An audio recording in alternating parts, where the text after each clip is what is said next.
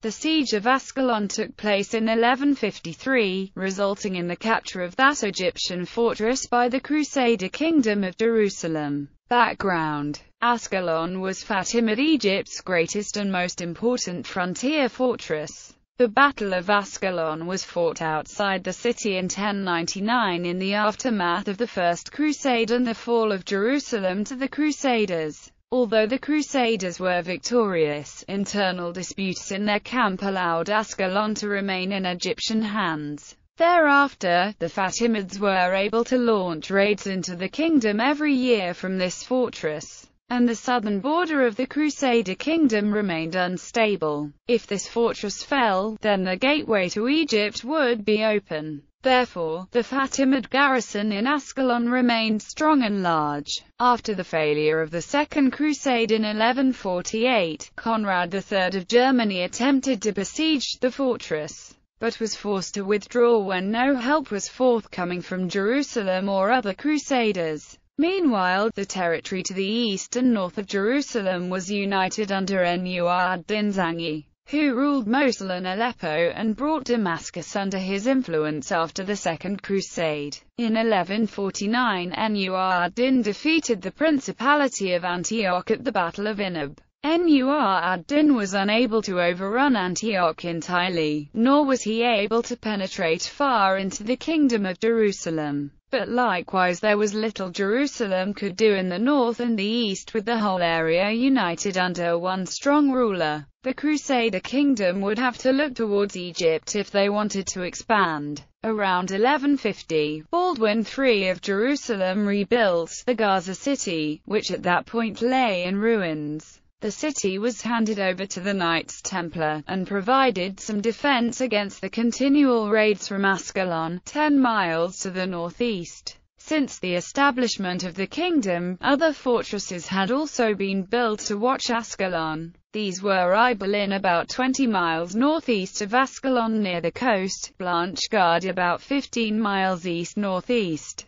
Gibelan about 19 miles east and Montgisard near Ramla 28 miles to the northeast. However, Jerusalem itself was soon divided by civil war. Baldwin III was the legal heir to the kingdom, but his mother Queen Melisende had been ruling as regent since 1143. In 1152 Baldwin finally demanded full control of the kingdom. After some brief fighting he was able to accomplish this goal. Later that year Baldwin also defeated a Seljuk Turkish invasion of the kingdom. Encouraged by these victories, Baldwin decided to make an assault on Ascalon in 1153. With the entire army of Jerusalem he marched to the fortress and began to destroy the surrounding orchards in January. Patriarch Fulcher was also present, along with Raymond Dupuy de Provence and Bernard de Tremelay, the masters of the Hospitallers and Templars respectively, and all the other great barons of the kingdom, including Hugh of Ibelin, Philip of Milly,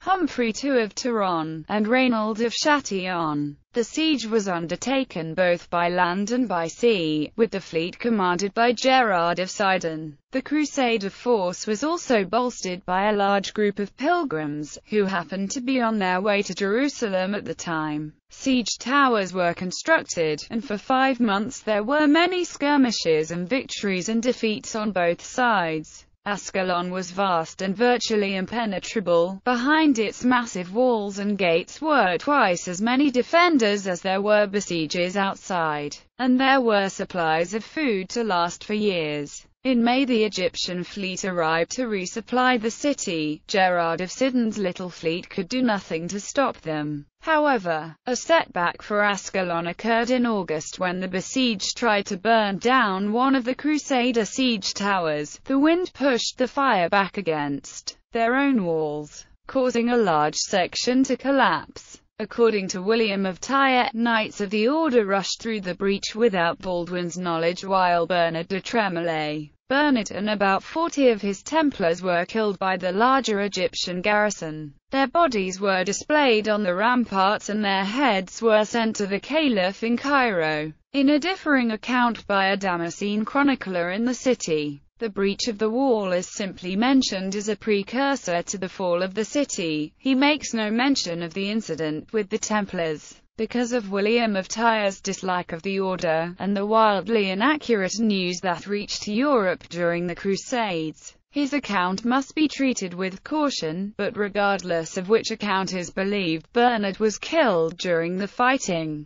By now the Crusaders were becoming fatigued and it was suggested that they abandon the siege. The Hospitallers and the Patriarch, however, convinced the king that they were on the verge of victory. Three days later another assault was made, and another entrance was forced. After bitter fighting the city fell to the Crusaders on August 19, and the fortress was formally surrendered to them three days later. The citizens were allowed to leave in peace, most fled back to Egypt. Aftermath Ascalon was turned into a diocese directly under the Patriarch of Jerusalem. Although in earlier times it had been a suffragan of the Bishop of Bethlehem, the city's mosque was reconsecrated as a church. The city was also added to the county of Jaffa, which was already held by Baldwin III's brother Amalric. The double county of Jaffa and Ascalon later became the most important Crusader seigneury held either as an appanage to the crown or granted to influential barons. The fall of Ascalon contributed to the downfall of Fatimid Egypt. Amalric succeeded his brother as king of Jerusalem in 1162, and throughout the 1160s led numerous expeditions from Ascalon into Egypt. These crusader invasions of Egypt failed to bring that country under Amalric's control.